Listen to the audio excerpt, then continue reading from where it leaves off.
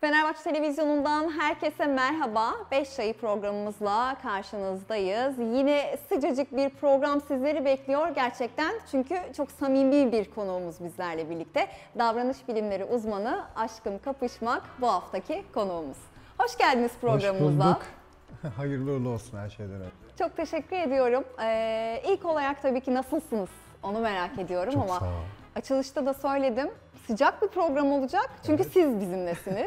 Çok sağ ol. Ee, çok bizden biri gibisiniz. Ben biraz önce de söyledim ee, kayıttan önce. Merhaba canım nasılsın demek geliyor sizi görünce içimden dedim. Gerçekten ilk olarak sormak istiyorum nasılsınız? Çok sağ ol. Yani hani e, insanın hani iyi olup olmaması onu ağırlayan kişilerle, karşılaştığı kişilerle de çok alakalı. E, senin beş çayına konuğum. Şu an kendimi iyi hissediyorum. E, karşımda zaten gerçekten samimi, gülen bir insan var. Daha ne ister insan? Yani tatlı tatlı sohbet edeceğiz işte. Ben iyiyim. Evet gerçekten şu dakikalar çok kıymetli. E, Çünkü sizin e, programıma konuk olacağını duyduğundan itibaren arkadaşlarım işte şunu da sor bunu da sor e, şeklinde bana böyle bayağı bir üstüme geldiler.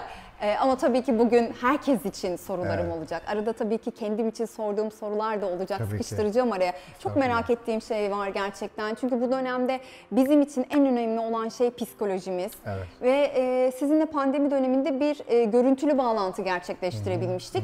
Ne güzel ki şu anda yüz yüze konuşabiliyoruz. Evet, Aslında bu bile büyük bir nimet. Biz bu dönemde bunu anladık. İlk olarak e, tabii ki gözlemleriniz, seminerleriniz yavaş yavaş başlıyor. Biz ülke olarak şu anda nasılız? Biz mutlu muyuz? E, tabii ki mutlu değiliz. Yani böyle bir gerçek var. E, mutlu olmaya çabalıyoruz sürekli. E, yaşadığımız şu an belirsizlik ve çaresizlik duygusu. Aslında pandemiden beri daha da çok arttı. Ama şunu da söyleyeyim, Türk insanın genetiğinde de bu çaresizlik ve belirsizlik duygusu çok saklı bir duyguydu. Ama bunu bununla baş etmek için çok böyle güçlü bir insan profili çizen bir toplumuz biz. Kıyafetiyle, tavrıyla, işiyle, gücüyle, sosyal medya paylaşımlarıyla. Bu olay bizi bir anda hani gerçekle yüzleştirdi. Hayatta en zor şey çaresizlik ve belirsizlik duygusudur. Çünkü irade sende olmadığını hissedersin. Elinle bir şey çözemeyeceğini düşündüğün için bu çaresizlik e, Türk insanına, tabii ki dünya genelinde de böyle, e, yanlış kararlar aldırıyor. Çünkü insanlar çaresizlik duygusu yaşadığında yalnızlık da bir araya geliyor. O yalnızlık da kaybolmuşluk hissi veriyor. E, yolunu kaybeden insan hızlanırmış. E, normal bir adres aramaya giderken bile düşünün adresi bulamadığınızda ayaklarınız hızlanmaya başlar Evet. panikten dolayı. Şu an Türk milletinde e, hız var, yolunu kaybetmişlik var. Bu arada da yanlış kararlar alıyor insanlar. Her şeyi denemek istiyor. Bunu yiyeyim, iyileşirim, bu metodu yapayım, işte e, ne bileyim ruhum iyileşir. E, alışveriş aşırı ya- yapıyor, kararsızlık çünkü online alışverişler de arttı. Hazza giden bir toplum olduk şu an, hazza. Haz ne demek? Yeme içme, cinsellik, alışveriş, e, kumar, madde bunların hepsi baktığında ya da ilişki. İnsan bir şeye hazla hızlı gidiyorsa var olan durumda bir problem var demek ki. Acının olduğu yerde haz arayışı çok yüksek. Şu an ben şunu görüyorum. Toplu halde gergin, e, kalabalık gözüküyor ama yalnız. E, Bir an önce eve gitmeye çalışan. Ondan sonra e, biraz hayatla ilgili hayallerini, hedeflerini bırakmış. Kimi akışa bırakmış. Ki kimi işte sonuna kadar tutmaya çalışıyor. Aslında baş etmeye çalıştıklarını düşünüyorum. Eleştirmiyorum kimseyi. Herkes bize doğru gelse de gelmese de bir baş etme yöntemiyle Evet. kendi çapında, kendi kültüründe, kendi inancında, kendi yaşında bir şeyle uğraşıyor şu an. Ve belirsizlik de şey var. Hani sorularına cevap alamadığı için insan bu sadece virüsle ilgili değil, hayatla da Evet, ilgili. kesinlikle. o cevabı da alamadığı için o kendi veriyor beyin soruyor cevapları. O cevaplar da ne kadar sağlıklı? O da işte sizi alıyor depresyona, panik atağa, anksiyeteye, ilişkilerde mutsuzluğa götürüyor. Sürüklüyor. E sürüklüyor evet zor bir süreç. Bu pandemiden önce sanırım size işte danışanlarınız ya da işte sorular soran, siz sosyal medyada da aktifsiniz, herkese Evet. cevap veriyorsunuz, Evet. oraya da geleceğim. Daha çok böyle önceden sanki ilişkiler, işte ikili ilişkiler, arkadaşlık, dostluk Evet. ilişkilerini biraz e, sorgularken ve hayatımızın odak noktası haline getirirken şimdi daha çok böyle konumuz sağlık oldu. İşte insanlar sevdiklerine daha çok bağlandı. Evet. E, birlikte daha da vakit geçirir oldu. İşte o eve gitmeler arttı, dışarıda belki vakit geçirmeler ki bunun bu zamanda daha doğru olduğunu hepimiz biliyoruz. Daha Kesinlikle. azaldı ve azalması gerekiyor gerçekten. Yani bu e, ölüm korkusu arttı, kaygılar, korkular konusunu daha önce de konuşmuştuk. Evet. İkisi evet farklı şeyler ama her iki tarafta da artış oldu. Size daha çok böyle insanlar hangi kaygılarla, hangi korkularla geliyor ya da soru soruyor? Yani şu an en çok dün de yaptık öyle bir biliyorsun hikayede bir Evet. soru cevap yapıyoruz. Evet. Ee, binlerce soru geliyor ve hepsi şu. Ee, çaresizlik yaşıyorum. Ne istediğimi bilmiyorum. Mesela şu çok fazla. Çok mutsuzum sebebi belli değil. Evet. Hayata karşı bir ümidim yok. Bu 15 yaşından başlıyor. İşte 60-70 yaşına kadar devam ediyor. Ee, çok e, motive olamıyorum. Bu soru çok geliyor mesela. Çok şey istiyorum ama eyleme geçemiyorum. Önünü göremediği için şimdiki zamandaki eylemlere de motive olamıyor insanlar. Benim toplu halde daha yoğun gördüğüm şey yoğun bir can sıkıntısı var insanlarda ve bu can sıkıntısıyla nasıl baş edeceklerini bilmiyorlar. Ağırlıklı olarak bu ve can sıkıntısının sebepleri de tabii çok değişken. Evet. Yani bu az önce saydığımız çaresizlik, değersizlik, yalnızlık, dışlanma ve başarısızlık şemaları zaten can sıkıntısına götürüyor. Bir de düne kadar yaptıkları tavır, davranışları da yapamıyor insanlar. Yani gezme, eğlenme, alışveriş, sosyalleşme, sürtünme birçok anlamda. Onları yapamadıkça, şimdi şöyle bir şey düşünün. Siz sosyalleşmezseniz bireyselleşmek zorunda kalırsınız. Şu an dünyanın üç savaşı var. Birey olma insanın, aklını kullanma ve özgürleşme. Şu an işte atıyorum e, bütün dünya ülkelerindeki iç ayaklanmaların, bütün tehditlerin sebebi insanın verdiği birey olma çabası. Diyeceksiniz ki bu üçünü e, çabalıyor da niye bu kadar olaylar oluyor? Bir şeyi e, sonucuna varmadan önce savaşını vermek zorunda insanoğlu. Yani şu an birey olmanın ve ha, aklı kullanmak başka bir şey. E, ne derler? Daha aşağıdan yukarı almak zorunda insan kendini. Yani daha haz yaşamından, e, daha yeme içme ve cinsellikten, güç arzusundan, şöhret arzusundan biraz daha yukarı almak zorunda. Aklını kullanan bu dünyada bu eksen kaymasıyla mutlu olacak. Açık söyleyeyim. Onun dışındaki insanlar manayı, hakikati, neden yaşadığını, ne, bu, dünyadaki görevini bulamamış insanlar için çok zor bir dönemdeyiz şu an. İnanın çok zor bir dönemdeyiz. Bir dışarı çıkıp bir bakabilme hali vardır ya böyle Evet, dışarıdan izleme, içine girmeden, temas etmeden. Ee, eğer bunu yapamazsa insanlar daha çok insana temas etmek isteyecek. Ee, çünkü içeriden huzur bulamayan dışarıdan haz isteyecek çünkü. Ama şöyle bir tehlike var. Bir süre sonra temas etmemek isteyeceksiniz. Yani dokundukça, yaklaştıkça daha mutsuz olacaksınız. Sosyal medya paylaşımına baksanıza atarlı giderli herkes. Yani kimseye güvenme.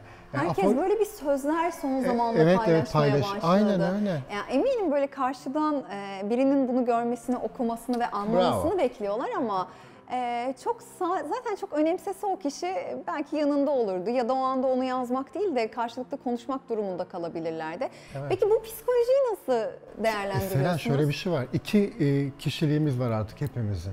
Bir reel e, aşkım kapışmak, reel Selen var. Bir de sanal Selen var, aşkım var. Şimdi nereye yatırım yaptığınıza iyi bakmanız gerekiyor. Eğer siz gerçek hayatınızda eşinizle, dostunuzla, çocuğunuzla ne bileyim hani çalışanınız, arkadaşlarınızla gereken diyalogları kuramıyorsanız ya, o duygularınızı sanal aleme aktarıyorsunuz. Oradan ayar vermek, atar vermek ya da işte e, kendini gösterme çaban oluyor duygusal ya da fiziksel. E şimdi yatırım nerede ben ona bakarım. O yüzden oraya istediğiniz kadar söz koyun, paylaşın. Gerçek hayattan uzaklaştığınızı gösteriyor bu zaten. Çünkü insanda şöyle bir arzu var. Ben diyelim ki mutsuz bir insanım, ilişkilerim iyi gitmiyor. Reel hayatta bunu arkadaşıma, akrabama anlatamıyorum, istediğimi de alamıyorum diyelim. Yani feedback alamıyorum. Ama sosyal medya feedback için çok uygun bir yer.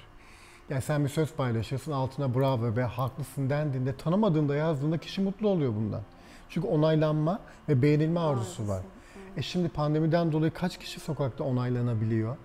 Kaç kişi yürürken, şimdi şu çok önemli bir şey. Siz bir AVM'de, sokakta, dışarıda ya da ben bu kuruma gelirken bile eğer burada kapıdaki çalışandan, buradaki sana kadar fark edilmezsem, bir merhaba nasılsın denmediğimde varlık hissi hissetmiyorum. E bunun için ne yapacağım? E, sosyal medyada varlık hissini daha çok tatmin olmam lazım. Pandemi insanların birbirlerine bakışlarını da azalttı. Hatta işte görmezden gelmeler, yoldan giderken işte farkındasın ben oluyordur böyle yolunu değiştirme neden? Çarpmayayım, temas etmeyeyim, Evet, öksürmesin. E ben bu kadar uzaklaşıyorsa insan ne hissediyor? Beni kimse fark etmiyor. E kimse kıyafetimin farkında değil, benim farkında değil, duygularımın farkında değil. Yatırımı geleceğim sanal aleme yapacağım. O yüzden bu Elon'lar, Bill Gates'ler teknolojinin, çipin, işte sosyal medyadaki kimliklerin öneminden bahsediyor. TC'niz gibi bir kimliğiniz var artık sosyal medyada. Bir profil oluşturuyorsunuz. Yani hani e, filtrelerle bebeklikten yaşlılığa kadar gidebiliyorsunuz. Bir hayat verildi şu an orada. İstediğiniz makyajı yapabiliyor. İstediğiniz insanla yan yana olabiliyorsunuz. E, en istediğiniz aşkları, her şeyi orada yaşayabiliyorsunuz sanal alemde. E, ne gerek kalacak şimdi buraya? Gerçek hayatı. Ne gerek kalacak? Bu bir taraftan ileride tüketimi azaltacak. Ee, çünkü real hayatta kimse senin ne yaptığınla ilgilenmeyeceği için sadece poz verirken, fotoğraf koy- koyarken önemli olacak kıyafetlerin. Ama o da ileride bana göre benim öngörüm bu da moda sadeleşeceği için artık böyle markalar falan tamamen önemini yitirecek. Daha pastel renkler, sade kıyafetler, bir tişört, bir jean ya da işte bir eşofmanla yaşayan bir top dünyaya döneceğiz bence. Neden? Ee, gösteriş budalalığı dünyada hakim olduğu için bu dünyanın kaynaklarını da yok ediyor. Senin benim kullandığım bir parfüm, bir kıyafet aslında iklimi mahveden bir şey. Evet. E, bu virüsle birlikte bunun da önlemini almaya çalışıyor dünya baktığında. O yüzden sana sanal kıyafetler, en iyi markaların sanal şeyleri filtrelerinde var artık senin. İhtiyaç da duymayacaksın. Ve oraya doğru yatırım yapıyor insan. Oradan besleniyor. Başka bir alan kalmadı. Aslında bunların hepsi gösteriyor ki ihtiyacımız olan sadece e, duygularımızı paylaşabileceğimiz Bravo. gerçek arkadaşlar, Ya, dostlar. e, sıcak gülüşler, Kesinlikle öyle. o Ya- samimi sohbetler. Samimi ilişki başka hiçbir şey değil. Yani hani e, bunu sağlayamayan insanlar intiharı bile artık sosyal medyada ediyorlar. Selen biliyorsun hep konuşuyoruz. İntihar videosu çekiyor insanlar. Yani bu, bakın ölümün eşiğine gelmiş bir insanın kendisini video alma düşüncesini oturup Evet. bence bütün uzmanların düşünmesi, Düşünmesi gerekiyor. gerekiyor. Evet. Yani hani tabii ki intihar tek başına saklı yapılan bir şey. Ama orada bile bir fark edilme ihtiyacı Evet, duyuyor. Mesaj evet. mesaj vermeye çalışıyor. E bu adamı, bu çocuğu, bu kadını, bu genci anası nasıl görmedi, babası nasıl görmedi, sevgilisi nasıl görmedi, dostları nasıl fark etmedi bu değişimi? Şimdi dostlar şuna, elbiseni değiştirmişsin, aa oraya mı gitmişsin? Şeyler aynen ama bir insanın halindeki değişim bu olamaz ki. O haldeki değişim gözlerindedir, bedenindedir, ruhundadır, dudak kenarındadır, saçındadır. Öyle değil mi? Yani kokusundadır, enerjisindedir.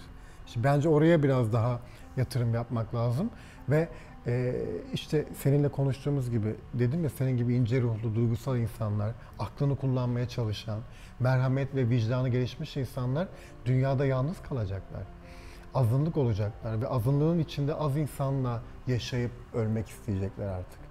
Bu gidişat oraya doğru gidiyor ister istemez. Ya bence bir nasılsın demek zor değil. Ee, şimdi ben- benim gözüme böyle birkaç fotoğraf geldi. Ee, her zaman gülen bir insanı bir asık suratla gördüğüm zaman ben sende bir şey var. Hissediyorsun onu Evet. değil mi? Evet. Yani bunu da sanırım hani görmezden de gelebilir insanlar ya da gerçekten hakikaten de görmeyebilirler. Hani ben e, birkaç farklı seçenek olduğunu düşünüyorum ama sanırım o görmezden gelmeler de siz zaten biraz önce söylediğiniz bizi mutsuzluğa sürüklüyor. Evet, evet. Sosyal medya zaten hep konuştuğumuz bir konuydu. İşte biz burada tabii gençler de e, Fenerbahçe Spor Kulübü olarak bizim için çok önemli. önemli, Geleceğimiz kesinlikle. sosyal medyanın hep olumsuz etkilerinden bahsediyorduk ama pandemi dönemi ve pandemi dönemi hala devam ederken sonrasında da konuştuğumuz tek konu sosyal medya oldu. Evet.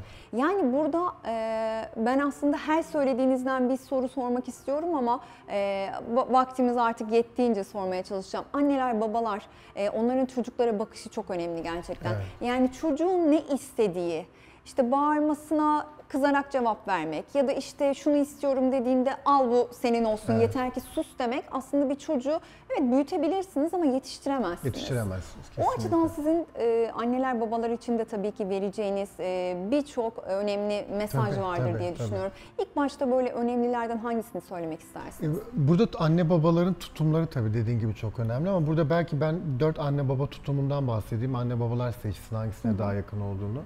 Birincisi baskın anne, ebeveyn tutumları. Bunlar hep istedikleri olsun ister böyle anne babalar. Altta mükemmelliyetçi olma yapısı, en altında da başarılı anne baba olma ihtiyacı vardır. Ve çocuğu sürekli uyarılarla işte düzelt toparla şöyle filan. Hatta ilgili gibi gözüküp çocuğun hayatına da karışarak devam ederler. Seçtiği arkadaşlar, kıyafetler bilmem neler. Dışarıdan ilgili anne baba gibi gözükür ama temelde baskındır. Ee, sürekli anne baba karar verdiği için bu tip çocuklar genelde silik çocuklar olurlar. Ya da çok ilginç bir şekilde saldırgan gençlere dönüşmeye başlarlar. Evde yapamıyor, cevap veremiyor. E, İkincisi e, çocuk erkil an- ebeveynler var. Bunlar hani böyle daha çocuk doğmadan cinsiyet partileri, zartlar, zurtlar, çocuğun daha yaşayacağı alan, yetişeceği, yiyeceği her şeyi önceden tasarlar. Çocuk dünyaya geldiğinde ona hiçbir iş bırakmaz. Her şeyini kendi yapar. Çocuk şımarmaya ve tembelleşmeye başlar. Bunun adı sevgi değildir. Aslında burada ebeveyn çocuğu sevdiğini zanneder. Çocuk üzerinden kendini seviyordur genelde. Çocuk onun narsist bir yanıdır ebeveynin. O yüzden onu şımartmak kendine bağımlı kılmak demektir. Bu tipler aşırı şımarık yetişen çocuklar, rahat yetişen çocuklar gergin olurlar. Çünkü hareket etmeyen, üretmeyen, bir şeyi çözmeyen, yorulmayan çocuklar ergenlikte bunların çocukların madde bağımlılığına daha yatkın oluyor. Anne baba da hep şunu yapıyor. Bu kadar güzel yetiştirdim, bu niye böyle oldu genelde? Şimdi şunu unutmayın. Bir insanın iki sıkıntısı olur. Can sıkıntısı ve e, geçim sıkıntısı. Geçim sıkıntısını çalışarak çözer kişi ve bedeni yorulduğu için can sıkıntısı da azalır. Ama böyle çocuklar yetişkin olduklarında tembel ve bir şey üretmedikleri için hem geçim sıkıntısı hem can sıkıntıları tavan yapmaya başlıyor. Unutmak için uyuşmak istiyor bir süre Evet. sonra. Ya da bu tipler kız çocuğu olduklarında da kendi isteklerini yapan kişilere bağımlı olmaya başlıyorlar. Çok ilginç. Aynen öyle. İşte bu hani hayatını mahvetti diyoruz ya mesela ilişkilerde. Üçüncüsü e, demokratik anne baba tutumları. Burada özgürlük e, disiplinle yürür. Yani e, kesinlikle anne baba o disiplin sınırlarını çizmiştir çocuğa. O sınırların içinde özgürlük verir. E, demokrati, demokraside şunu unutmayın. Hep böyle eskiden uzmanlar şey derdi. Anne baba aynı düşüncede olacak. Bu çok büyük bir yanlış. Tabii. Hiçbir şekilde anne baba çocuğa karşı aynı düşüncede olamaz. Ee, bazı e, daha temel konuların dışında çocuğun sağlığı, atıyorum yeme içme, okulu örnek veriyorum. Ama diğer konularda ben babanın başka görüşte olmasını, annenin farklı görüşte olmasını çok önemserim. Demokrasi bu demektir aslında. Çocuk aynı iki tutumu gördüğünde hayatta da hep aynı şeyi arayacak. Çünkü anne baba e, iyi kötü polis, akıl mantık, duygu filan demektir. Karşılıklı zıttını görürse çocuk baş etme becerisi de hayatta artıyor zaten. Ee, özgür, mesela e, iyi dinleyicidir demokratik anneler ve babalar. E, sadece dinlemekle kalmaz, akıl da okumaz ve iyi anlayıcı ve yorumlayıcıdır aynı zamanda. Dokunsal teması hiçbir zaman bırakmazlar. Göz temasları da çok etkindir. Şımartmaya meyilli değillerdir. Yapabileceği şeyleri gördüğünde kesinlikle onun yapabilmesi için desteklerler. Ceza verirler. Cezalı, şunu da söyleyeyim, cezanın kelime anlamı karşılık demek arkadaşlar. Arapçada öyle bir e, biz ona ödül Arapçada ödül derler cezaya. Ama epistemolojik olarak karşılık demektir. Eğer, Yaptığına karşılık veriyoruz. tabii tabii Ceza mesela hani, tabii şey. dindarların da dilindedir ya Allah cezalandırır. Aslında Tanrı, yaratıcı Allah karşılık verir. Anne baba cezalı. Hayır anne baba karşılık vermek zorunda. Öğretmen cezalandıramaz. Eğer kızarak cezalandırıyorsa anne baba bu artık gerçek bir ceza değil kişisel bir egoya girer. O yüzden bir çocuğa bağırarak topla onu bırak telefonu dediğinizde çocuk bunu bırakmaz sebep. Kendisinden istenileni anlamaz ki anne baba duygularını aşırı kullandığı için durumu intikama dönüştürmeye başlar. Daha çok hata yapmaya başlar. O yüzden cezanızın bile yöntemi çok önemli, tarzı çok önemli. Kesinlikle öyle. Buna biraz hani dikkat etmek zorunda anne babalar. E son ebeveyn tutumu da ilgisiz. Bu da çok şu an Türkiye'de. Çocuğun olumlu olumsuz hiçbir şeyine feedback alamıyor çocuk. Hiçbir şeyine alamıyor. Aslında dikkat çekmeye çalışıyor değil tabii mi tabii. orada? Bütün yaramazlıkların altında dikkat çekme ihtiyacı vardır. Çocuk ne e, onaylanıyor olumluda ne de işte olumsuzda fark ediliyor, cezalandı. Bu da yok. Yani onun da karşılığı yok. Evet. Bütün madde bağımlılığı gençlerin e, anne babaları ilgisizmiş. Yani çocuk ödüllenmediği için ne yapacak? Ödül alacak bir şey, bir, bir birey, bir ortam bulmak zorunda. Şimdi şunu söyleyeyim, tabii ki çocuk kitaptan yetişmiyor. Yani bütün anneler, babalar çok kıymetli ve bunu biliyorum ama keşke herkes anne baba olmasa, bunun bir ehliyeti olsa, Kesinlikle. bir eğitimden geçse ama bu kültürel bir aktarma, üreme psikolojisi ve ne yazık ki doğurduğunuz çocuklar sizin sahip olduğunuz narsist yanınızın bir karşılığı değil, bir nesne değil çocuk kesinlikle. Bir yolculuğa çıkan bir birey, bir canlı ve o yolculukta ona eşlik edeceksiniz. Bu kadar basit. Bir de yani son kez anne baba için şunu söylemem lazım. Kendi geçmişinizi çocuklarda düzeltemezsiniz. Yani bu sevdadan artık vazgeçmeniz lazım. Yapamadıklarımızı onun yapmasını Aynen, istemek. aynen öyle. başaramadıklarımızı onun başarmasını istemek. En tehlikelisini söyleyeyim. Bazı kadınlarda e, bu çok var. Bilinç dışında kendi kadınlık algıları çok tehlikeli. Yani kadını değersiz gören kadınlar var bilinç dışında. Karşısındaki kadınları mı? Hayır, hayır kendi, kendi bilinç altında mesela hepimizin bir benlik algısı vardır. Evet. Örneğin ben kendimi beğeniyor muyum, seviyor muyum, değerli buluyor muyum? Bir erkek ya da bir insan olarak. Bazı kadınlarda yetiştirmelerinden dolayı e, o da kendi anne babasının aktarımı. Kendini seviyor gibi gözüküyor ama bilinç dışında kadın imajı tehlikeli. Kadınlara güvenmiyor. Anlatabiliyor muyum? Evet. Eğer doğurduğu kızsa aşırı engellemeyi bilinç dışındaki kadın algısından dolayı kıza yapıyor. Ona aktarıyor. Çok ilginç. Doğurduğu erkekse bilinç dışında kadını aşağı çekiyor kendisi. Erkeği yüceltmeye başlıyor. Çok Bu yanlış. sefer oğlunu hani klasik baktığını o zaman görüyoruz işte bu ülkede. günümüzdeki aslında Aynen. yaşadığımız olaylar ortaya Olaylar çıkıyor. çıkmaya başlıyor. Erkek şiddetinin en temel sebebi annelerinin zaten onları aşırı yüceltmesi, babanın da anneye karşı sevgi göstermemesi, güven vermemesi. Bir etkileşimle yürüyor zaten farkındaysan. Ama temel ne dersen ailede temel sevgi ve güven. Yani bu bu kadar zor olmamalı. Hiç Ee, zor değil. O kadar böyle aslında hani deriz ya havası bedava deriz. Evet, Ee, evet. Oksijen, baktığımız işte güneş bizi ısıtan, güneş bedava. Aynı o şekilde sevgi de Çok ve önemli. verebileceğiniz güven de o kadar kolay ki. Şimdi sorun bütün anne babalara nasıl bir çocuk istiyorsun? Ortak nokta mutlu ve başarılı olsun. Başarılı insanlar araştırılıyor. Yüzde 85 başarı sebebi yetiştiği aile, yüzde 3 aldığı eğitim. aslında yüzde üç. eğitimin ne kadar küçük bir yer kapsadığını Hiçbir şey yok görüyoruz. açık söyleyeyim. O eğitim nedir? Eğitim e, bir bireyin disiplini olması, toplumla kaynaşabilmesi, sosyal hayata adapte olması, ilişkilerini yönetebilmesi, aklını kullanabilmesi için bir sistem. Ama o kişinin başarılı olmasını sağlamaz kesinlikle. Başarı kaygının ve korkunun olmadığı ailelerde gelişen bir şeydir. O yüzden çocuk geldiğinde anne ben o- odamı ya da işte tabağı ben getirebilir miyim dediğinde hani küçük çocuklar yapar senin de çocuğun Evet, var biliyorsun. yapıyor. O esnada şunu hissetmeniz gerekiyor. Çocuk işe yaramak ve bir şey başarmak evet. istiyor. Anne orada bırak ya üf kıracaksın dediğinde bitti. O Bitti. çocuk hayatta başarılı Evet. olamayacak bir daha. Evet. Güdülemiyor anne baba. Yani izin vermiyor.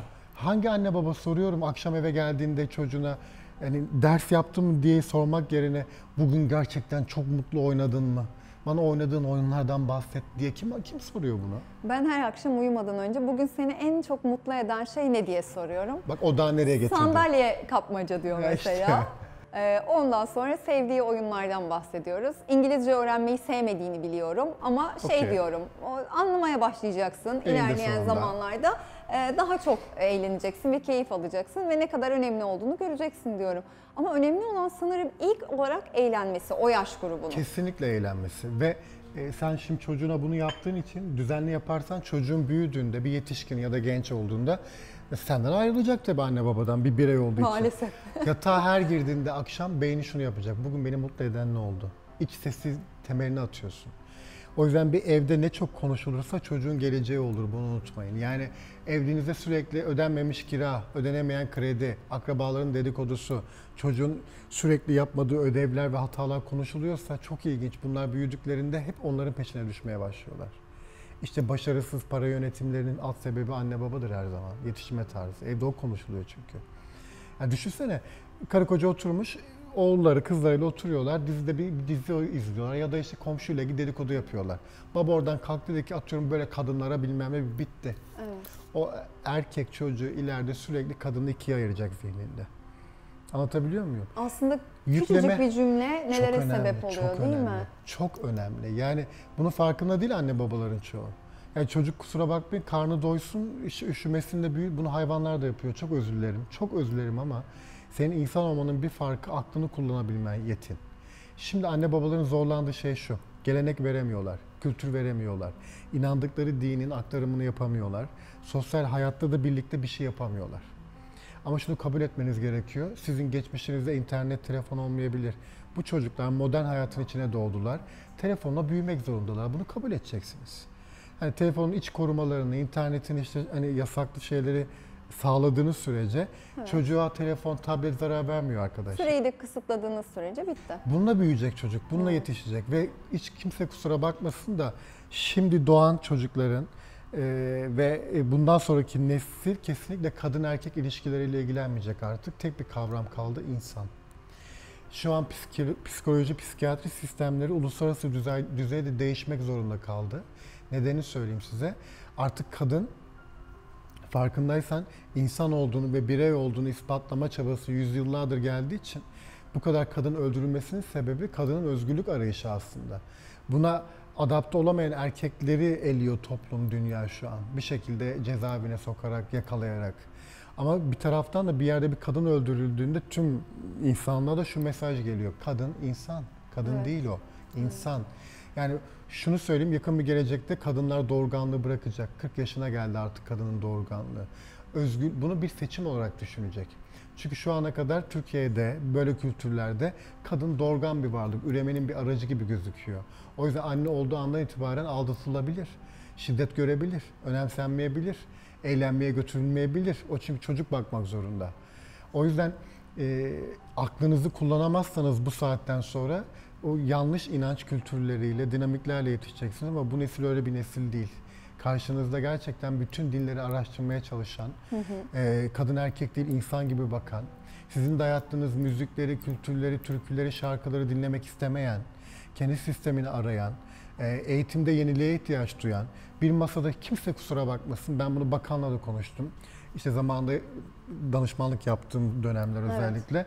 Hiçbir çocuğu 40 dakika sisteme oturtturamazsınız. Bu çocuğun bana bile uygun değil. Evet. Bu sistemin değişmesi gerekiyor. Daha uzun teneffüsler, daha kısa ders saatleri olmak zorunda. Çünkü bu şimdiki nesil ezberi sevmiyor. Hikaye dinlemek istiyor. Bunu video olarak dinlemek istiyor. Biliyorsun yani belki- Özellikle izlemek istiyor İzlemek yani, istiyor evet. yani böyle geliyor. Kitaplar değişiyor, sistem değişiyor. Evet. Bugün Türkiye'nin dünyanın en iyi yazarları, ben de buna dahil, iyi olduğum için demiyorum yani bir yazar olarak sesli kitaplara döndük. Yani öyle okuyoruz, öyle istiyoruz. E, kusura bakmayın işte kitap okum. E, sen okuyor musun evde kitap? Bir de yapmadığını bekleyemezsin çocuktan. Çocuklarınızı ideoloji aşılamayın. İnsanlar mesela işte şey dediniz, olmadığınız insan olmaya zorlamayın çocuğunuzu. Bravo. Piyano çaldırmak. Bir evde gerçekten piyano çalınmıyorsa ya da işte klasik müzik dinlenmiyorsa. Ya Senencim bir çocuğun- araştırma var. 10 bin saat, en az 10 bin saat çocuk neye maruz kalırsa onun ustası oluyor. Evet. Siz haftada bir gün piyanoya göndererek ne bekliyorsunuz çocuktan? Kesinlikle Bunun beynine de faydası yok ki. Niye? 6 ay sonra bırakacak. Çocuğa şunu öğretiyorsunuz. Bir şeyi Başla, yapamazsan bırak. bırak. Böyle bir şey olabilir mi ya? Piyanoya gönder, karateye gönder, oraya gönder, buraya gönder. Pardon, seninle ne yaşıyor bu çocuk? Bu çocuk şey gibi şimdiki çocukların çoğu. Hani randevu alman gerekiyor çocuğu görmen için anladın mı? Her güne bir şeyi var yani. Ee, ben sevginin olduğu yerde açıkçası bu kadar aktiviteye gerek, Gerek duymuyorum. Yani oynasınlar. Ya zaten oyun alanları çok kısıtlı çocukların. Yani daha çok evde artık çocuklar oyun alanlarında. Göz teması kurabilsin anne babayla bu çok kıymetli. E bir de e, siz canınız sıkıldığında ne yapıyorsunuz onu gösterin ona. Siz mutsuz olduğunuzda ne yapıyorsunuz onu gösterin ona. E, ve diyalogda kalın. Yani sürekli iletişimde kalın. Çünkü bu nesil çok diyalog nesli olmayacak yakın bir zamanda. Online konuşan bir nesle dönüyor. Bari siz o temeli atın ki siz ölene kadar sizin o şeyi sağlasın. ilişkiyi sağlasın. Bundan sonrası zor o anlamda. İşletmeler online'a döndü, toplantılar orada, Harvard eğitimini online'a çevirdi. Yani e, kabul etmemiz gereken bir şey var. Sanal kimliklerimiz var bizim artık. Bunu ister sevsinler, ister sevmesinler. Ve sanal kimliğe geçerken de işte insan makamını oraya götürmeniz gerekiyor. Cinsiyetleri değil, terörü değil, pisliği değil. O yüzden e, şimdi internette, sosyal medyada anne babalar çok kaygılı çocuklarıyla ilgili. İçiniz rahat olsun. Bir sistemin e, doğruya ulaşabilmesi için önce bir e, zarar vermesi gerekir. Bir makineyi de aldığınızda öyledir. Hani hatasını şu gördüğünüz ya da bir araba ortaya piyasaya çıkmadan önce bir sürü aşamadan geçer. Evet. Hayat da böyledir, psikoloji de böyledir. Şu an internet sistemiyle ilgili davalar açılıyor, yeni kanunlar geliyor tüm dünyada. Yakın bir zamanda bu benim düşüncem olması gereken şey 18 yaşına kadar çocuklar internete girdiklerinde işte atıyorum Instagram, Facebook gibi öyle bir sistem kurulmalı ki 18 yaşın üstünde kimseyi görememeliler isteseler de. Eğer internet alemi yeni bir sistemde bunu kurgularsa çocuklar zaten zarar görmeyecek bundan. Buraya evriliyor zaten. Evlenene kadar biraz daha dikkatli, doğru, çocuğun yanında, temas halinde olmak lazım. Bir de çocuklarınıza ders yap, oku diye dayatmayın arkadaşlar ya. Sizin dayattığınız yerde boşluklar oluşuyor ve dinlemiyor çocuklar genelde. O yüzden e, siz ilişkinizden sorumlusunuz çocukla. Onun ne yapıp ne yapmasından sonra yani sevdiği şeyleri görün. Evet. Kuralları görün, edin. Yapamadığı yerde destekleyin. Bir de Ama çok, da zorlamayın. çok da zorlamayın ama hata yaptığında cezası da olsun tabii ki. Yani o disiplini sınırlarında koyun. Ama cezayı kişiselleştirmeyin sakın. Yaşına uygun, cinsiyetine uygun, ruhuna Hakaretler uygun. kesinlikle. Ve Etiketleme seni yok. sevmiyorum demek sanırım çok yaralayıcıymış. tehlikeli İşte biliyor sen bunu yapmadığın için seni sevmiyorum demek çok yaralayıcıymış. İnanılmaz. Zaten üç tip bir sevgi şeyi var.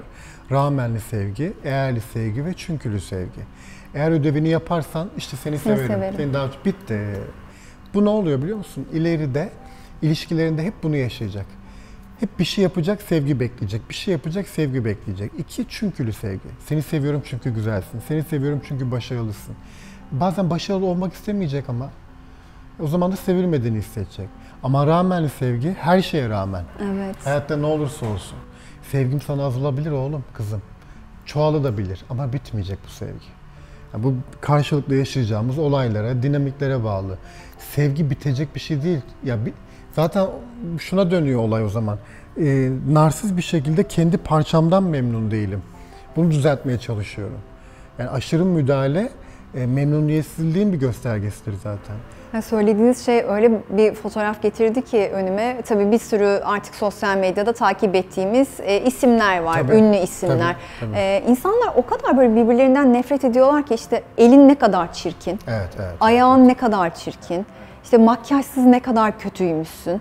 Yani bu tabii ki mükemmel olma isteği ve herkesin bu kadar e, birbirine çok böyle normalmiş gibi e, aklındaki düşünceyi olumlu olumsuz söylemesi de yani tabii ki bunu kaldırabilen insan var, kaldıramayan insan var ama bir yandan da arkasından sürükleyebileceği bir kitle olabilir. Çünkü mutsuzluk insana birçok şey yaptırabiliyor. Tabii, kesinlikle. E, bunu nasıl aşacağız? Ben çok şaşırıyorum Burada gerçekten. Çok önemli bir şey söyledin işte o hani e, görüntüyle ilgili linç etme, eleştirme, Evet. küfretme, hakaret etme. Bunun altında Eric Fromm şöyle bir şey söylüyor. Diyor ki e, öldürme ve yaşatma arzusuyla doğarız. Eğer sağlıklı bir ortamda yetişmediyseniz, sevginin ve güvenin olduğu yerlerde. Ben bu arada çayınızı Ay, tazeleyeyim. lütfen, teşekkürler. Rica ederim. bir doğayla ilişki, bir insanla ilişkide çocuk yetiştirirken onun işte e, örnek vereyim mesela sen benim dostumsun. Ee, seni yaşatma arzumu nereden anlarsın? Sana verdiğim selamdan, seninle ilgilenmemden. Bir çiçeği, bir kediyi, bir köpeği nasıl yaşatırsınız? Ona bakım yaparak. İnsanı yaşatma arzunuz varsa, işte az önce söylediğim onunla selamlaşmak, onunla merhabalaşmak, halatı sormak kişi yaşatma arzusu. O yüzden iyi insanlar ve başkalarıyla ilgilenen insanlar yaşatma arzusu yüksek insanlardır. O, bu kişiler karşı tarafta bir eksik problem gördüğünde onu ona gizli gizli anlatır. Kırmamaya çalışır. Evet. Ama eğer siz sağlıklı bir ortamda büyümediyseniz bir ek, ek, ekilen tohum güçsüzlük ve zayıflıktır sizde.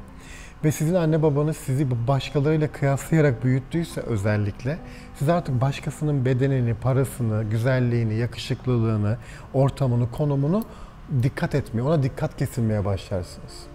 Ve öldürme arzusunun bir sürü şekli vardır. Bir cinayet görüyoruz. Bütün savaşların sebebi de budur. İki, yani yok etme arzusu. E, iki, psikolojik yok etme. Sal, işte atıyorum hakaret etme, saldırma bilmem ne. Üç, dedikodu. Dedikodu da öldürme arzusunun bir göstergesidir. Evet. Arkasından konuşmak, ayağını kaydırmak, eleştirmek gibi. Bu, bu bunları kim yapıyorsa sosyal medya ve real hayatta Selen'cim şunu söyleyebilirsin bir tanı olarak. Öldürme arzusu yüksek insanlar bunlar. Kimi fiziken öldürür, kimi ruhen öldürür. O yüzden çok uzak durmamız gereken e, insanlardır. Ama sosyal medyanın bir hani şey yok yani bir raporlama ya da bir akıl sisteminden geçmiyor. Önüne gelen orada girebiliyor sonuçta. Bu tipler şunu söyleyeyim. Seninle karşılaştığında bunu hayatta yapamazlar. E, atıyorum senin saatini, elini eleştirdi diyelim, saçını, başını. Seni gerçekten gördüğünde çok ilginç bir şey söyleyeceğim sana. Bu da müthiş bir analiz. Biri sizi çok kıskanıyorsa ve bir şeyinizden rahatsızsa ettim. sizinle karşılaştığında bunu aşırı övgüye dönüştürür. tabii tabii. O kadar varlar ki. o yüzden çok alışığım. O yüzden ben hep şunu söylüyorum kendime, yani kendi kendime. İşte Merve ile, Merve Özbey'le konuşurken o da sonuçta bir sanatçı. Merve diyorum, seni övene de inanmaz, sövene de. Tabii. Yani ikisi de çok e, samimiyetsiz gelir her zaman. Seni kim över?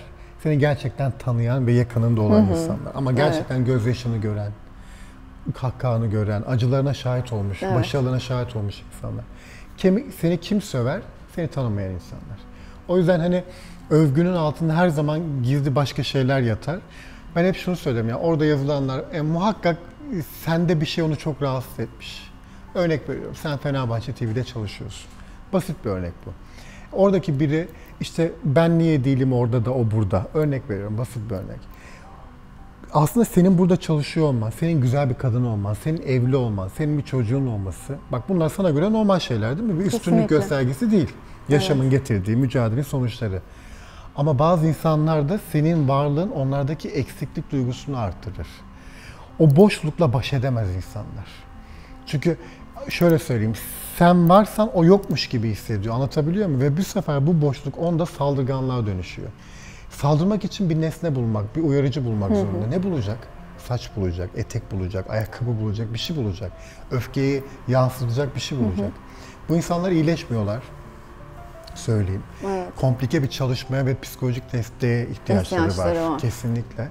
O yüzden onların tek arzuları hayatta ne olur biliyor musun? Daha zengin olmak, daha güzel, daha, Daha yakışıklı, konuşulmak. daha konuşulmak, Günümüzde e, bir kıstas daha çok takipçi. takipçiye sahip olmak. Aynen. O yüzden hani başından beri konuştuğumuz ve değişmeyecek hayatlar onlar. Geri kalan kim? Azınlıklar. Evet. Umarım iyileşirler. Umarım. Diyecek Yani bir hani şey bulamıyorum. Elimizde dua etmekten, dilek dilemekten başka bir temenni yok. Evet, Ama günün kesinlikle. sonunda kimseye üzülmüyorum, da acımıyorum da herkes yani e, hak ettiğini yaşıyor bu hayatta. Bu normları koyarken de şunu söylüyorum tabii. Hani bazı sistemlerin fakirleştirdiği, zulmettiği insanlardan bahsetmiyorum. Onlara Kesinlikle sonuna kadar doğrusun. üzülüyorum, acıyorum Evet, ama hepimiz. bu şımarıklıklardan bahsediyorum Evet, özellikle. evet. Herkes hak ettiğini Açıkçası yaşıyor. ben de üzülmüyorum. Şimdi bir yandan tabii böyle sosyal medyada linç edenler varken bir yandan da sizin gibiler var ki görüyorum mesajları işte aşkım abi sen hayatıma girdikten sonra işte ben daha düzenli bir hayata geçtim. Belki ben intihardan vazgeçtim. Çok var, Ee, evet. ben sevmeye başladım. Farklı bir açıdan bakmaya başladım. Bir kere bunlar size nasıl hissettiriyor? Çünkü birinin hayatına dokunmanın ne kadar önemli ve değerli olduğunu ben biliyorum. İşte ona iyi misin, nasılsın demekle başlıyor ve kim bilir nerelere kadar gidiyor. Evet. Şimdi tüylerim bile diken diken oldu. Yani insanları böyle e, güzel hissettirmeyi başarmak, becerebilmek nasıl bir duygu? Tabii ki bir yandan bu sizin işiniz ama siz buna iş gibi bakmıyorsunuz. Evet, o günaydın canım diye e, sabahları kalkmanız bile aslında onlara nasıl bir mesaj iletmek istediğinizi, o samimiyetinizi gösteriyor. Ve neler değiştiriyorsunuz? Böyle güzel de bir hikaye varsa dinlemek isterim ben. Var yani hani çok binlerce yani hani tabii ki göremiyoruz birbirimizi ama e şunu söyleyeyim sana Selen ben de çok mutlu bir çocuk değildim. Mutlu bir çocukluğum olmadı. Yani şiddetle büyüdüm, istismarla büyüdüm, bir sürü acı yaşadım ama belli bir yaşa gelince şunu düşünmek zorunda kaldım. Beni yetiştirdikleri kişi mi olacağım? Ya başka biri mi olacağım? Yani eğer yetiştirdikleri kişi olacaksam çok kötü biri olmam gerekiyordu. Yani e, madde bağımlısı, ondan sonra antisosyal, e, her anlamda dine, ideoloji, hayata kötü bakan, olumsuz, depresif bir biri olacaktım.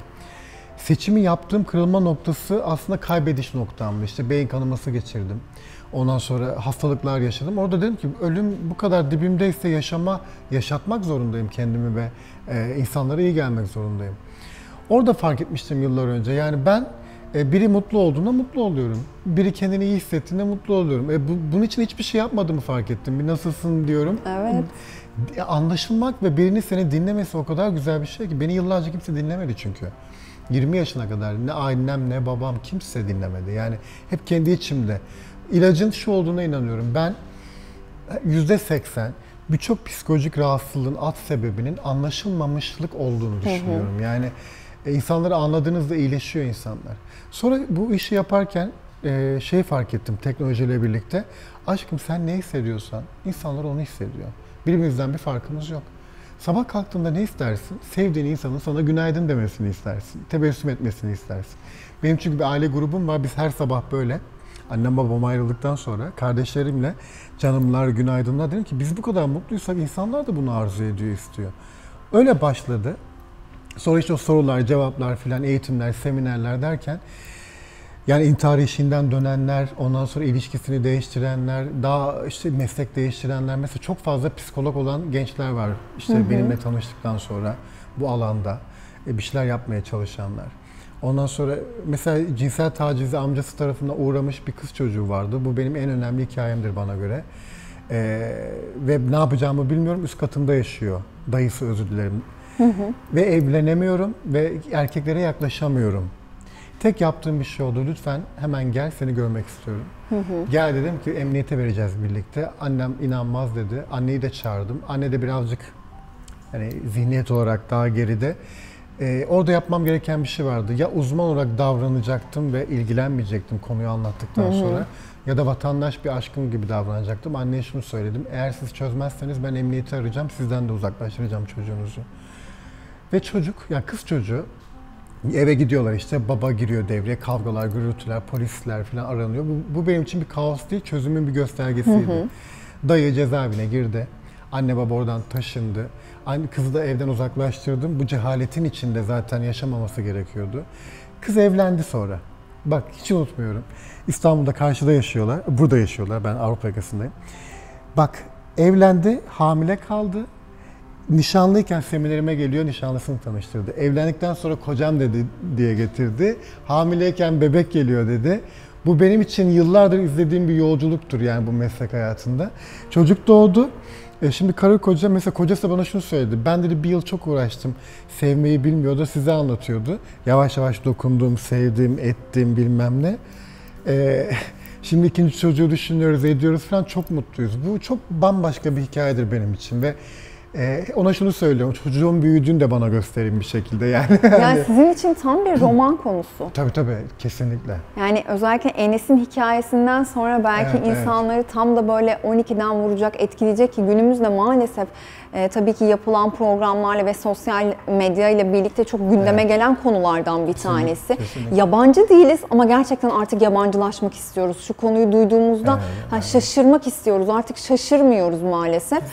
Ee, özellikle Enes, yani Üzümlü Kek'ten sonra böyle bir kitap gelebilir mi acaba? Şöyle ya şöyle okunmamış mesajca bir kitap geliyor şimdi. evet. Onu da pandemide yazdım. Ee, 18 Kasım'da application içinde çıkacak. Bu hayatımın kariyerimin en önemli romanı oldu. 400 sayfalık ama fantastik bir psikoloji romanı oldu. Şimdi işte dijital medyayı söyleyemiyorum ama bir e, dijital platformda dizi olacak. Onun anlaşmaları Evet. için çalışıyoruz. E, onun içinde bu karakterleri koydum. Yani yedi büyük günah var onun içinde. Yedi farklı karakter. Her bir karakteri şu an dünyada birçok insanın işlediği günahları bir kişiliğe giydirerek anlatmaya çalıştım. E, fantastik kısmı, kısmı da biliyorsun artık dijital platformlarda bu çok tutuyor. Evet. Psikoloji romanlarına döndü hikayeler zaten. E, bir karakterin içinde çocukken yaşadığı bu istismarlar var bir karakterde. E, o çözümleri, nasıl Evet. gidecek ve insanlık nereye doğru gidiyor ile ilgili. E, ben de heyecanla bekliyorum bakalım. Ben de şu anda çok heyecanlandım. İsmini sağ ol. tabii ki sosyal medyadan da görüyorum paylaşımlarınızdan Çünkü da. mesajı şu, açık söyleyeyim Selen. Kitabın da mesajı buydu. Okuyamadığımız tek mesaj çocukluğumuz. Tek mesaj orası. Yani bütün yaşamdaki tekamülümüz de o gerçekten. En basit örneğiyle şunu söyleyeyim izleyenlere de. Mesela Selen ben senin gözlerine şöyle bir 10 saniye baksam. Hiç gözümü kaçırmadan. Biliyorsun bu biraz uzadığında rahatsız da oluyoruz ya da bir şeyler hissediyoruz. Bir insan sizin gözlerinize uzun uzun baktığında ne hissediyorsanız o anneniz babanızla ilişkinizle aynıdır her zaman. Bunu sakın unutmayın. O yüzden e, okuyamadığımız mesaj bizim çocukluğumuz, anne babayla nasıl yetiştiğimiz. Mesela en kızdığınız şeye bakın, en tipik hareketlerinize bakın, en sık yaptığınız davranışlar muhakkak geçmişten geldi. En rahatsız olduğunuz huylarınıza bakın. Bu işi niye yapıyorsunuz? Örnek veriyorum mesela. O işin altında bile anne babayla bir ilişki yatıyor ya da amca, dayı, hala, teyze, komşu bilemiyorum. Kişinin okuması gereken tek mesaj, hani belli bir yaşa gelince şunu deriz ya, arkadaş çalışıyoruz, kazanıyoruz ama niye biz mutlu değiliz? Yani hani niye bu dünyada yaşıyorum? O neden sorusunu sormaya Evet. başladığınızda tekamül başlıyor, bir yolculuk. Geçmişe gidiyorsun, affetmen, çözmen ya da işte değiştirmen gereken şeylerle yüzleşiyorsun. Yüzleşme gücü olan insanlar daha başarılı ve daha mutlu olabiliyorlar hayatta. O yüzden bana mutluluğu soranlara hep şunu söylüyorum.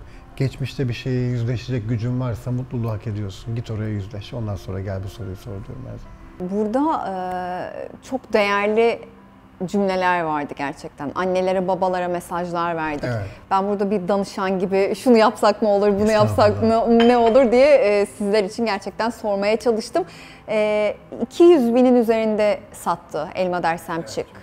Aydın'dan sinema filmi geldi. Evet, Bir pandemi pandemi, evet pandemi onu çok etkiledi. Evet, evet, etkiledi. Tekrardan bir vizyona girişi olacak mı? Onu nasıl değerlendirmeyi Ya şöyle, düşünüyorsunuz? Bu okunmamış mesajın işte dizi ya da sinema Evet. filmi var. O artık Evet. o platformda bekliyoruz ama ben bu olayı şöyle bir şey.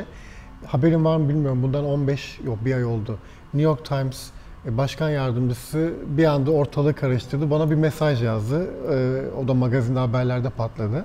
Şöyle de kitabı göstermek istiyorum. Belki okumayan yoktur diye düşünüyorum ama izlemeyen olun, vardır diye İzlemeyen düşünüyorum. vardır, Çünkü evet, çok kesinlikle. şanssız bir döneme geldi. Evet, E, evet. Birçok tabii etkilenen sektörde kişi de Tabii, var. tabii, tabii, Bunlardan biri de maalesef sizsiniz ama Evet. yani bunu tabii ki izlemek e, için neler yap ne yapmamız Şimdi gerekiyor? şöyle bir şey yapacağız. Ee, o tabii görüşmeler devam ediyor onunla Evet. ilgili. Platformlarla ilgili. Çünkü yapımcının çalışması. Yani şahsi hareket edebildiğim bir özgür alanım değil açıkçası. Ee, biz şöyle bir şeye karar verdik. İşte Ocak ayında Amerika'ya gideceğim ben. Ee, New York Times'ta bir çalışma yapacağız. Ee, İngilizce çevireceğiz. Hem İngilizce hem Türkçe. Evet. Onun çalışmalarını 2-3 ay devam ettirip hem Türkiye'de hem yurt dışında dijital platforma sokma şeyimiz var. Yani düşüncemiz var. Evet. En kötü hiç olmadı. Ee, yani zaten YouTube'a koyup orada insanları izletebileceğiz. Ama Evet. o hakları hakları almak Evet. anlamında o haklar daha bende değil, yapımcıda. Ee, ama şöyle bir güzelliği de var tabii. Ee, biz bu yani e, izleyemedikleri şeyleri Harbiye'ye taşıyoruz şimdi. Seneye Harbiye'de, Harbiye'de yapacağız aynısını. Ee, şu pandemiyi bitmesini bekliyoruz. Bir e, yani açık havada Yapacağız, e, yapacağız, evet. insanlar e, çok güzel bir seminer 5 sene önce. Harbiye'de yaptım. Evet. 5000 kişiyle yaptık. Çok sevildi. Yağmura denk geldi filan ama hani bir şekilde Hiç idare ettik. değil. Şimdi biraz Berekettir daha geliştirdik. derler. Aynen müzik katacağız içine biraz. Daha tiyatral şeyler katacağız. Seviyor insanlar. Ben de seviyorum Ben de yani. çok seviyorum. O ilişkileri dinlemeyi, evet, evet, evet. başkasının hayatını dinleyip ama mesela onun yoluna girdiğini ya da nasıl çözebileceğimizi görmeyi. Bravo. Hani ben seviyorsam sanırım herkes bu o bir iç rahatlaması oluyor Tabii, değil mi? tabii. Ya da o kendini bulma. Aa ben de böyle bir şey yaşamıştım ama demek ki böyle İlişki kuruyorsun. çözebilirmişim. İlişki kuruyorsun bir Evet. anda. Kendinle bir köprü oluşturuyorsun orada. Ee, yani en kötü ihtimal hiç olmazsa. Çünkü Evet. bilemiyorum dünyanın gideceği yeri. Belki Amerika'ya da gidemeyeceğim. Yani hani bu olaylardan, bir Yani şeylerden işte dolayı. onun için artık hiçbirimiz bir şey diyemiyoruz. Bir de evet direkt aklıma şey geldi. O kadar saat maskeyle nasıl uçacaksınız Evet, diye bir ilk şey soru geliyor. aklıma geldi. Hani gitmek tabii ki de bu e, çalışmalarınızı gerçekleştirmek, düşüncelerinizi hayata İnşallah. geçirmek için gerçekten çok önemli. E, ama tabii her şeyin hayırlısı diyoruz gerçekten. Olmazsa Harbiye'de yapacağız artık bakalım. Evet. Yani. En azından kendi toprağımızda. Harbiye çok çok bana çok sıcak geldi. Yani hani dokusu, yapısı ve oraya gelen e, işte insanların olaya katılımıyla birlikte e, gerçekten çok sıcak bir gece geçirebilir herkes. Kesinlikle. Çok samimi. Yani gittiklerinde herkesin e, evine gittiklerinde böyle yüzünde bir tebessüm bırakacağınıza eminim İnşallah gerçekten. ya. İşte Acun'la da konuşacağım. Çok severim. Hani dedim ya ona şey diyeceğim. Sen de TV8'den onu şey yap canlı bir şekilde. Ee, birkaç böyle kanallarla da konuşup şey çünkü ben bunu parasız yapmayı düşünüyorum. İnsanlığa faydalı olsun diye. Çünkü çok zor yıl geçiriyoruz. Ee, yani e, oraya gelenler kadar evinden izlemek isteyen Türkiye'de bir sürü insan var. İstiyorum ki birkaç kanalda destek olsun ve Herkes gerçekten otursunlar izlesin. ve canlı canlı izlesinler. Yani hani dizi izler gibi, film izler gibi. Bence bu tip çalışmaları sadece ben değil, benim gibi bu işi yapan, hakkıyla yapan birçok insanın e, bu çalışmaları bence halkla daha maddiyatsız, ücretsiz buluşması gerektiğini düşünüyorum. Şu an toplumun buna ihtiyacı var. Ben öyle düşünüyorum. E, bu e, çünkü insanların çoğu psikoloğa gidemiyor. Gerçekten gidemiyorlar. Yani hele ki şu andan itibaren bir psikiyatristin ve bir psikoloğun parasını karşılamak tabii ki çok insan için şey ama çoğu aile için ikinci, üçüncü plana geçti şimdi. Belki hiç düşünemedikleri Belki de hiç bir şey. düşünemiyor. E, kitap okumak hani kültürel olarak belki bazı ailelerde alışkanlık olmayabilir. Buna da saygı duyuyorum. İnanın saygı duyuyorum. Ama artık bir izleme şeyimiz var yani refleksimiz var. Onun için e, sizi de arayacağım, size de geleceğim. Herkese geleceğim yani. Biz her zaman için. bekleriz. Ben, ben ne zaten kadar Fenerbahçe TV benim için biliyorsun bak kaç kere geldim gittim. Şunu Ee, söyleyeyim mi? Başka bir değersiniz benim için. Çok kıymetli. İyi ki varsınız. Bunu gerçekten gösteriyorsunuz. Siz de iyi ki varsınız. Ne zaman mesaj atsam, Hemen cevap. Her zaman. Ve her hemen zaman. bir tarih ayarlanması. Ben herhalde bir ay sonraya falan e, gün E, verirsiniz söyle diye bana hemen düşünüyordum. dedim ayarlayalım yani. Ya hemen diye. hemen geldiği için gerçekten e, ayrıca bu e, mutlu oldum. Yani gerçekten hisler karşılıklı. Keşke Kesinlikle. böyle vaktimiz olsa da ben size böyle 5 saat sohbet etsem. Çünkü kameraları unuttuğum anlar oluyor gerçekten. E, umarım Seve hepimiz seve. için çok güzel dönemler gelir. Umarım hepimiz sağlıklı güzel bir e, kış dönemi Umarım. geçiririz. Umarım Ve belki de beraber. bahar gelirken tüm bu e, kötü e, işte virüslerden, tüm kötülüklerden arınmış olarak İnşallah. bir bahara uyanırız hepimiz. Son olarak tabii ki seminerlerle ilgili de bilgiler verelim. Ee, özellikle yurt dışına gideceksiniz, Evet, evet. kimlerle buluşacaksınız, hangi şehirlere ee, ve belki Kasım başından itibaren tarihleri Başlıyor. veririz. Şu an ben yurt dışı diyorum ama senin de dediğin gibi her an kapı kapanabilir tüm ülkede. Türkiye'de devam ediyor. Ocak'ta Amerika ve e, şimdi Lübnan ve Orta Doğu projeleri gelişti. Oraya doğru. Ben zaten biliyorsun Instagram sayfasından hani duyuruyorum. Evet. Ama onlar da bekliyorlardı. Yani Türkiye turnesi işte haftaya başlayacak. Ben de çok heyecanlıyım çünkü Carpe Diem'i ben pandemiden önce yazmıştım. Sahnelemiştim iki, iki ilde, bir ülkede. Ama pandemi patlayınca içeriği de değiştirmek zorunda, yeni şeyler eklemek zorunda kaldım. Çünkü kaygı ve korkuya biraz daha yoğunlaşmam gerekti. Evet. An psikolojisi çok önemli oldu. Ee, İnşallah buluşacağız sağlıklı, mesafeli bir şekilde İnşallah sevenlerimizle. gerçekten. Bu dönemde tabii ki bizi en çok mutlu eden şey Fenerbahçe olarak e, hani tabii dışarı çıkamıyoruz, e, müsabakaları izleyemiyoruz. Evet ya. Futbol, basketbol, voleybol e, hepsi seyircisiz oynanıyor ama biz tabii ki ekranlardan takımlarımızın yanında oluyoruz ve onların galibiyetleriyle seviniyoruz. Çok güzel bir başlangıç yaptık sezona. Gerçekten tüm Hayırlı kulvarlarda. Hem kadınlarda hem erkeklerde. Harikasınız E, ya. belki Fenerbahçe için e, bir şeyler söylemek istersiniz sohbetimizin sonunda. Fenerbahçe ben doğduğumda evde konuşuluyordu zaten. Çünkü abim benim Evden Fenerbah- Fenerbahçeli. Abim Fenerbahçe altyapısında oynuyordu. Uzunca yıllar oynadı hatta. Fenerbahçe bizim için ya ben onun tozluklarını koklayarak büyüdüm ya. Abim düşünse bilirler şimdi yani futbol oynayan herkes. O yüzden ben benim için ayrı bir değeri var. Neden? Evet. Fenerbahçe dendiğinde benim e, çocukluğum geliyor aklıma. Çünkü abim yorulmasın diye onun özel yemekleri, vitaminleri, işte e, gittiği yerler, işte burada Fikirtepe'de bir yere gidiyordu. Hiç unutmam. Annem götürürdü. O mücadelenin göster. Ben, benim için Fenerbahçe mücadele, büyüme gibi bir şey. Harika. Abimle hep bunu konuşuruz.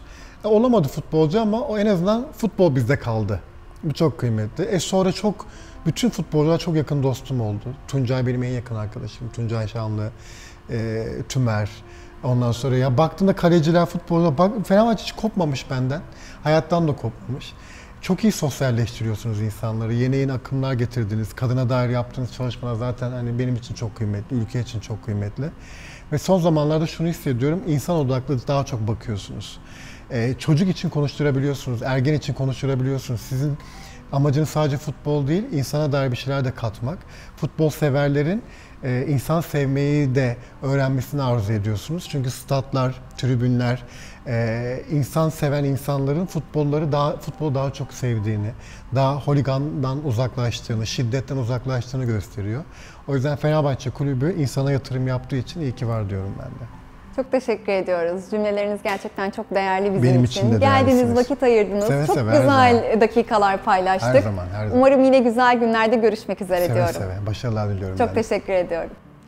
Evet 5 yayını noktalıyoruz. Gerçekten çok keyifli bir sohbetti. Siz de eminim çok keyif aldınız. Bizi izlediğiniz için teşekkür ediyoruz. Yeniden görüşmek üzere. Hoşçakalın.